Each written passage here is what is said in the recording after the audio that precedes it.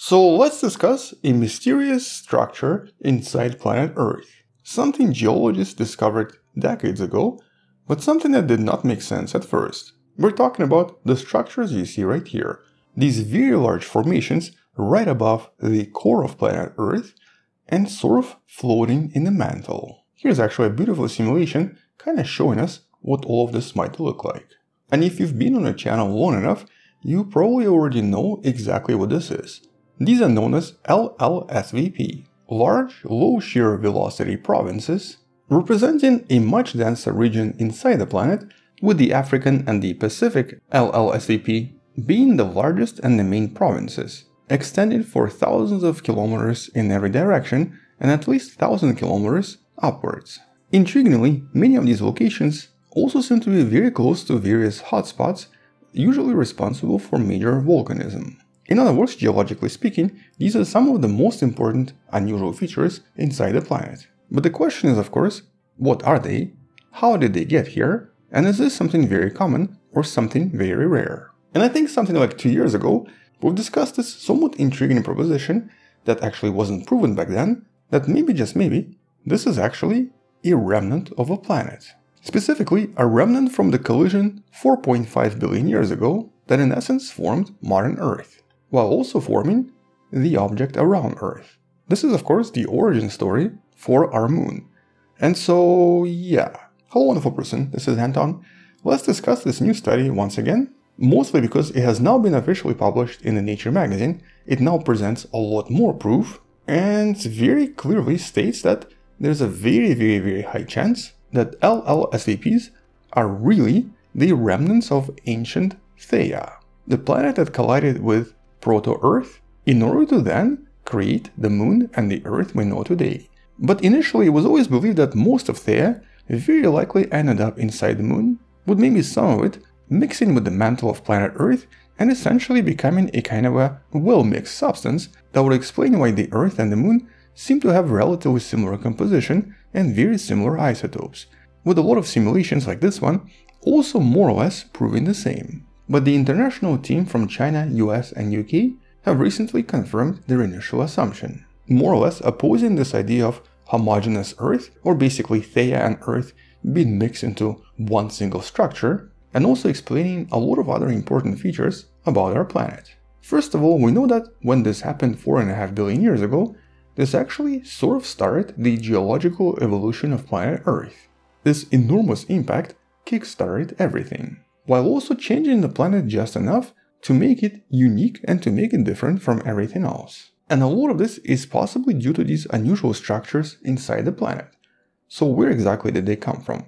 Well, initial explanations involved sinking continents that would eventually end up inside planet Earth, melting and forming these unusual thicker regions.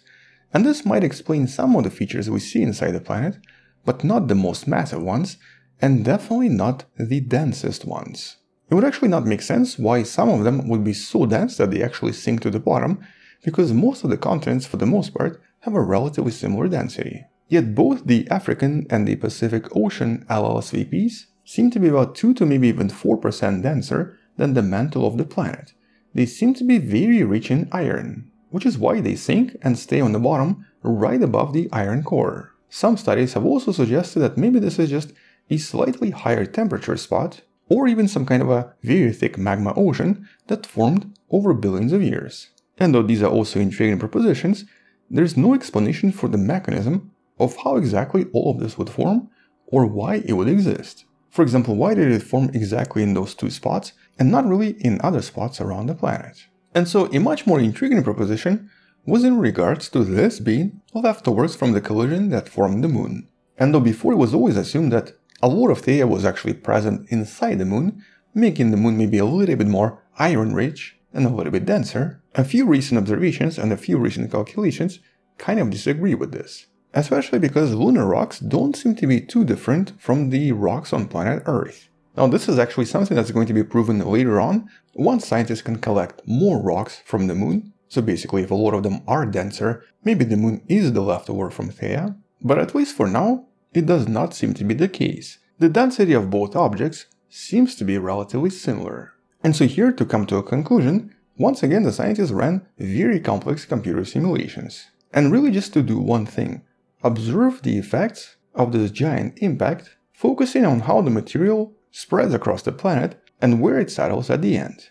And well, in their simulations, they kind of managed to show exactly what they always believed. The spread of the material across the planet seems to indicate that following this very powerful impact, a large chunk of Theia, or even in this case two chunks, are in essence going to create certain structures inside the planet, very likely somewhere on top, basically in the upper mantle, with the lower mantle remaining more or less solid and more or less untouched. But because a lot of these chunks were slightly more dense, approximately 2 to 3%, with time they would stratify, with a lot of these chunks sinking to the bottom, at first forming smaller chunks of about maybe 10 to 20 kilometers across, but eventually accumulating into larger and larger objects. And after a few million years, very likely combining into these large objects we now see inside the planet, basically representing about 2 to possibly 3% of the Earth's mass, and very likely representing a relatively large chunk from Theia itself.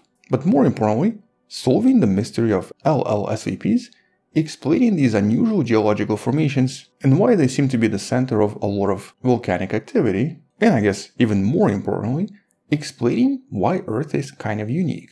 For example, as I mentioned in one of the previous videos, turns out that our planet, compared to for example Mars, has a dramatically higher number of various minerals. Earth has several thousand minerals on the surface, potentially the result of a lot of this mixing and interaction early on, which for example planet Mars does not have.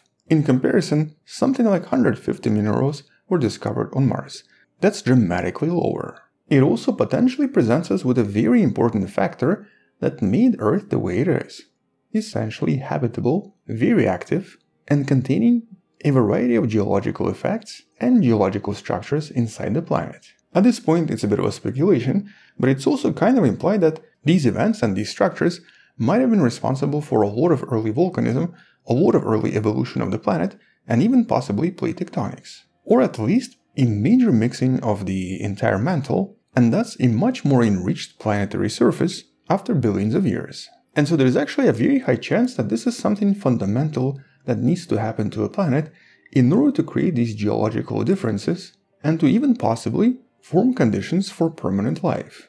At the least, it seems to explain why the planet seems to be so different, so unique, and very different from any other terrestrial planet in the solar system or anything we've seen so far with various telescopes. And so for all we know, the presence of these unusual dense formations resulting from the collision with another planet may be the real reason why planet Earth is so strange, so different, and of course, is able to create creatures like us. And though, at least for now, it's still a bit of a hypothesis, there's maybe a way to test this in the future once the scientists are able to collect more rocks, the rocks from the moon, and then compare them to the ones from Earth. If the lunar density is higher than planet Earth, there's maybe a chance that this idea is incorrect. But assuming that all of the rocks studied in the future are going to have similar density to planet Earth, like they usually do right now, it would basically confirm that most of the lunar material must have been mixed with planet Earth and a large part of Theia potentially ended up inside the planet.